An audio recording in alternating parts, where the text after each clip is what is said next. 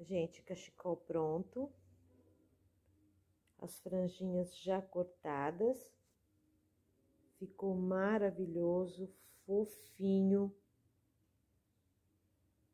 E com três novelos e meio de 40 gramas da lã molê, você faz ele tranquilamente com dois metros de comprimento.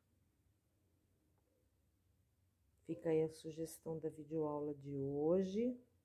Eu espero que vocês tenham gostado. Se gostou, deixa aquele like, se inscreva aí no canal e ative o sininho de notificações em todas, assim toda vez que eu postar uma nova videoaula, o YouTube avisa vocês. Um beijo no coração de todos, fiquem todos com Deus e até a próxima videoaula. Olá, meus amigos e minhas amigas aqui do canal, tudo bem com vocês? Comigo, graças a Deus, tudo bem. Bem-vindos novamente ao meu canal e na videoaula de hoje eu vou ensinar vocês a fazer um cachecol muito, muito fácil. E para essa, para esse cachecol, eu comprei a lã molê, eu não achei o grandão, tá? O de 100 gramas, então eu comprei quatro de 40. E eu comprei na cor 8.176. Eu vou usar a agulha aqui, gente, de 8 milímetros. Que é para ele ficar bem fofinho mesmo. E nós vamos precisar também da tesoura. Uh, gente, esse cachecol é muito fácil, tá? Esse meu eu vou fazer ele um pouco mais comprido e eu vou mostrar pra vocês a medida tudo certinho que eu vou fazer, tá bom? Ah, e nós vamos precisar também da fita métrica. Gente, esse meu aqui eu já comecei a fazer, olha, mas eu vou, eu vou fazer uma amostrinha com vocês. Então, eu quero só mostrar pra vocês que o meu, olha,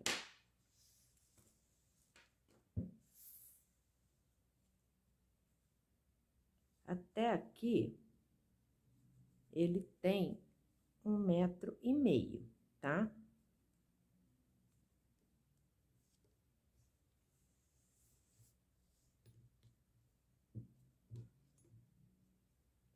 Olha, gente, o meu ficou com quase dois metros.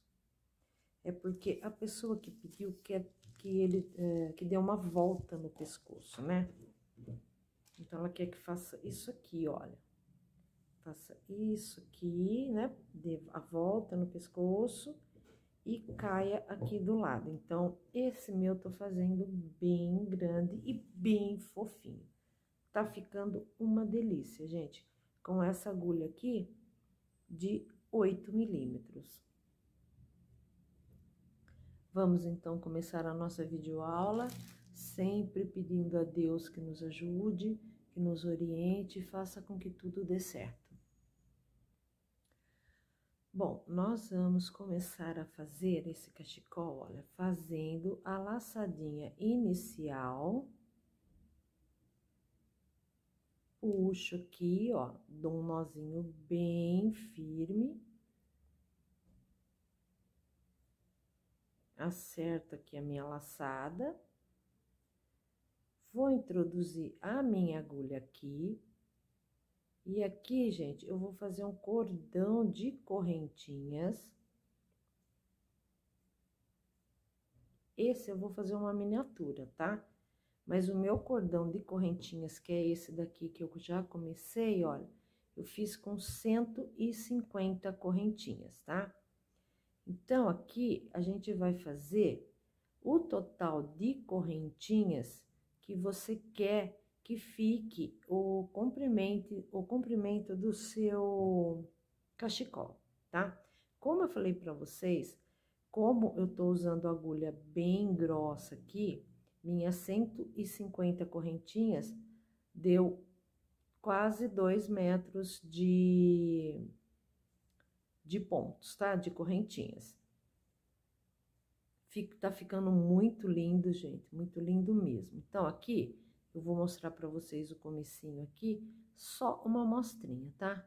Vamos supor que aqui eu tenha o número de correntinhas que eu quero para fazer o meu cachecol. Então, a gente vai fazer assim agora, olha, eu fiz a última aqui correntinha, tenho essa aqui na agulha, eu pulo essa daqui, ó, não a que tá na agulha, eu pulo essa, venho na próxima e vou fazer um ponto baixo. Venho aqui na próxima e vou fazer um ponto baixo. E para cada correntinha aqui, olha, que eu estou fazendo, que eu fiz, quer dizer, eu coloco um ponto baixo. Se você quiser aqui, gente, trabalhar com meio ponto alto, também fica bonito, tá? Olha, para cada correntinha aqui, eu vou colocar um pontinho baixo. E ele tá ficando bem fofo, tá vendo, gente? Ele fica muito fofinho por causa de usar a agulha número 8. Se você não quiser usar a agulha número 8, pode usar a número 6, tá? Aqui no novelo, deixa eu ver a sugestão de agulha. Olha, eles dão a sugestão de 2 a 2,5. Então, tá vendo que eu tô bem fora da espessura da agulha recomendada ali no rótulo. É porque eu quero um trabalho bem gostoso mesmo, de bem fofinho. Então, eu vou terminar de fazer aqui os meus pontos baixos e já já eu volto com vocês. Tô terminando aqui, ó, a minha carreirinha. Tem o penúltimo ponto e essa última correntinha aqui que a gente tem que trabalhar também, tá?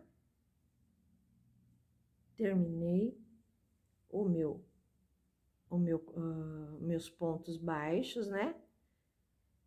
Viro meu trabalhinho, aqui eu faço uma correntinha e eu venho nesse primeiro ponto aqui, ó. Não vou trabalhar na correntinha aqui que eu fiz, tá, gente? Eu pulo ela, ó, ela tá aqui eu venho no ponto próximo a ela, que é meu primeiro ponto. Vou introduzir minha agulha aqui, ó, e vou fazer um ponto baixo.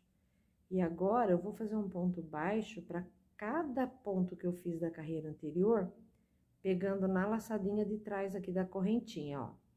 Não é aqui que a gente vai pegar. Tá vendo? Trouxe, aproximei mais para vocês verem. Aqui tá a correntinha, eu pego lá na laçadinha de trás. Para quem já sabe, é fácil, gente. Eu tô explicando bem explicadinho porque esse cachecol qualquer pessoa pode fazer que tiver alguma noção de, de pontos no crochê. Então, olha, tá vendo? Minha correntinha tá aqui. Essa é a laçada da frente, eu pego aqui na laçada de trás, ó. É um meio aí agora que esfriou bastante do pessoal ganhar um dinheirinho, né, gente? E olha, eu vou fazendo, ó, pegando sempre na laçadinha de trás, eu vou fazendo os meus pontos, ó. Pegando aqui, ó, a correntinha tá aqui, a laçadinha da frente é essa, eu vou introduzir a agulha aqui na de trás, ó. Gente, vocês não têm noção de como fica gostoso isso aqui como fica molinho. E para pôr em volta do pescoço fica bem mais gostoso, ele bem fofinho, né? Então, vamos, ó, tô terminando aqui. Isso aqui, gente, vamos supor que eu tenha feito os dois metros de, de correntinhas ou um metro e sessenta, você pode fazer também até um metro e meio. De um metro e meio até dois metros é um tamanho muito bom, tá? Então, aqui, gente, olha, eu tenho a última correntinha, tá? Não esquece de pegar nesse aqui de trás, ó, e fazer o último pontinho, senão você vai fazendo diminuição. Novamente, ó, ou eu faço uma correntinha e viro, tá? Ou eu viro e faço a correntinha, aí não, não tem problema. Não trabalho essa correntinha que eu fiz, tá? Ó, essa aqui é a correntinha que eu fiz, eu venho no outro pontinho, no primeiro pontinho. Novamente, pego na laçadinha de trás. e vou trabalhar ponto sobre ponto. Sempre pegando na laçadinha de trás.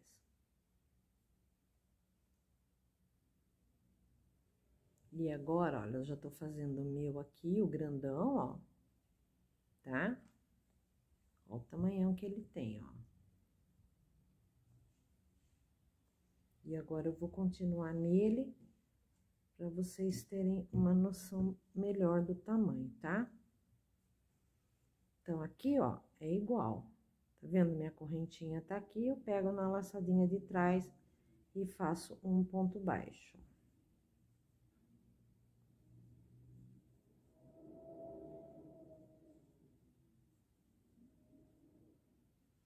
Eu vou fazer até chegar lá no finalzinho e já volto com vocês.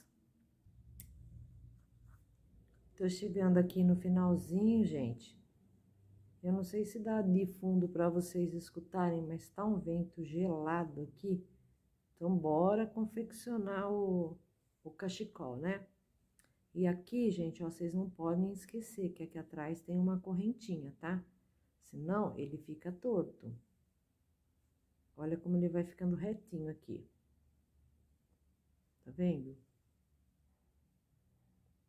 Se você esquecer essa correntinha, ele vai diminuindo. Cheguei aqui no final da minha carreira, faço uma correntinha, vou virar o trabalhinho, olha o outro lado também como fica retinho, gente. Tá vendo, ó? Viro o trabalhinho, não vou nessa correntinha que eu fiz, que é essa daqui, ó, tá? Eu vou no próxima, na próxima correntinha, que é o meu primeiro ponto. Coloco a agulha na, na argolinha lá de trás, ó. E começo novamente as minhas carreiras, ó. Não pode deixar de trabalhar nenhuma correntinha, tá? E isso, gente, eu vou fazer por aproximadamente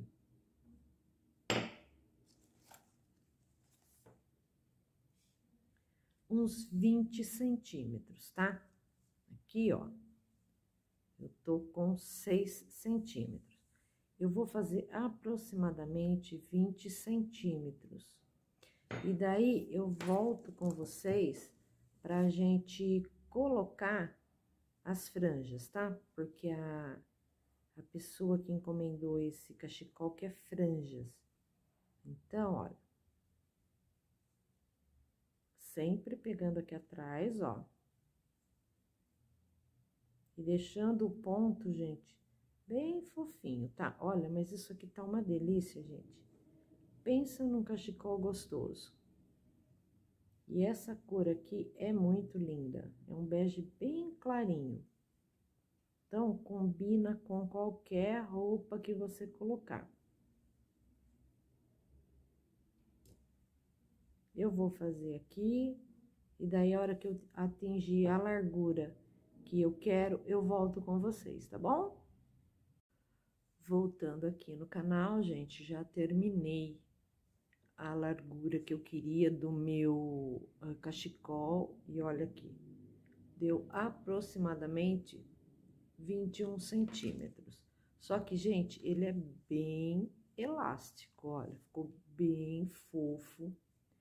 Então, ele ficou na, na largura normal dele de 21 centímetros. Mas se você der uma esticadinha aqui, olha, ele fica até com uns 25 centímetros, olha. Mas ele ficou muito lindo, muito fofo. E agora, gente, nós vamos colocar aqui, ó, as franjas. E eu vou ensinar vocês como eu faço para cortar as franjas e como eu faço para colocar. Gente, para mim cortar as franjas, eu pego uma caixinha dessas de CD, ó, tá vendo? Eu uso não a largura dela, ó, que ela tem 14,5, mas sim a altura, ó. Ela tem 12 centímetros e meio na altura. Então, eu uso aqui, ó. Então, eu pego a minha lã. Seguro aqui, ó, bem aqui na pontinha, tá? E vou enrolando várias vezes, ó. Vou enrolando. E eu vou enrolando, gente, olha.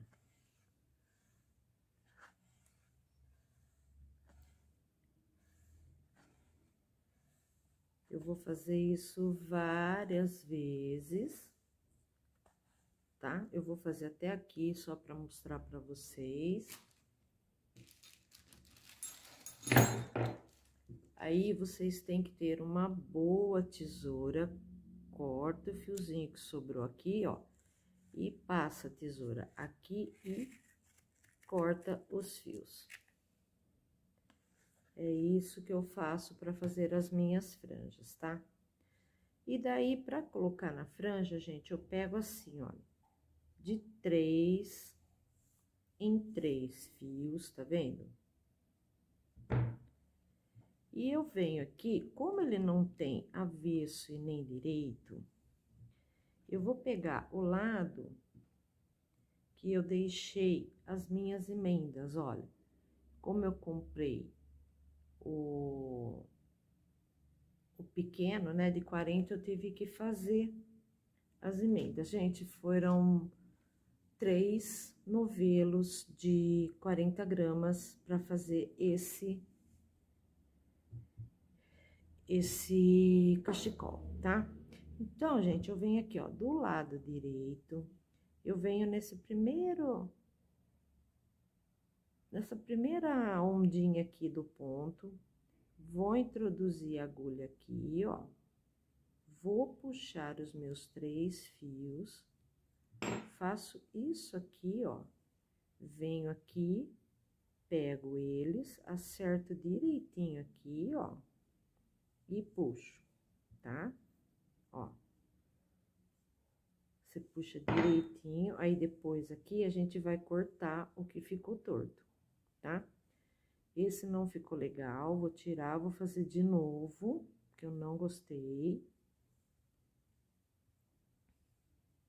Isso vocês podem fazer quantas vezes vocês acharem que ainda não ficou bom, tá? Então, vamos lá novamente. Venho aqui, ó, vou introduzir minha agulha grande aqui e puxo aqui pra dentro. Tem que ser uma agulha bem grande, tá, gente? Se vocês quiserem puxar com a própria agulha, pode. Eu gosto de puxar com a mão. Venho aqui, ó, é que tem um nozinho ali, então tá isso que não tá deixando legal o comecinho aqui, ó. Tá? E puxo. Puxo bem, deixo bem firme. E depois aqui a gente faz os acertos no tamanho, ó, tá vendo? Vamos fazer mais um. Pego três fiozinhos, dobro ele bem no meio, ó. Venho aqui no próximo vãozinho, vou introduzir minha agulha assim, ó. Vou puxar aqui para dentro, pego meu fio aqui, pego os três que estão aqui, ó. Faço isso e puxo. Esse já ficou melhorzinho e puxo bem, tá, gente? Olha que lindo que vai ficando as franjas. E depois a gente dobra os dois lugares e corta todas elas do mesmo tamanho. Vou fazer só mais uma aqui. Ó, pego um, dois, três fiozinhos da lã que eu cortei. Dobro ao meio, ponho certinho aqui Agora, olha, eu venho no outro buraquinho aqui, ó, tá? Vou pegar as, as minhas três lãs, eu seguro bem firme aqui, ó, puxo ela pra dentro, deixo um espacinho bom para que eu possa uh, manusear, né? Ponho aqui e dou meu nó. Puxo bem e eu vou colocando, olha que lindo. Em cada buraquinho, a gente vai colocar três fiozinhos, tá? É o suficiente, se vocês quiserem colocar mais, aí fica a gosto de cada um. Eu vou fazer dos dois lados e depois eu volto com a peça pronta.